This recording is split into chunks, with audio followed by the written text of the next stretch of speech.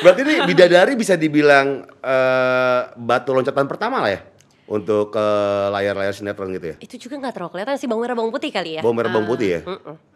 Itu pertama kali ada Pertama nama aku kali. Nia Ramadhani gitu di depan udah nangis Iya. aku. Oh, iya. Soalnya sebelum-sebelumnya kan aku juga pernah Saras 008 tapi cuma jadi eh, temennya Vio yang rambut panjang. Pernah nonton gak sih Saras 008? Nonton, yang mobil Karimun. lahir.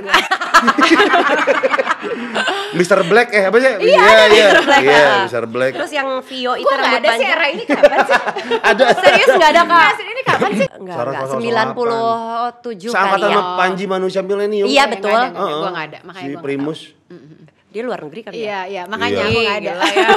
Orang-orang yang udah enak dari Gak apa-apa deh.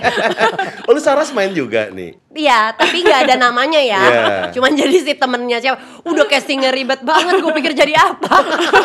Gue nyampe situ cuma jadi temennya si Vio itu.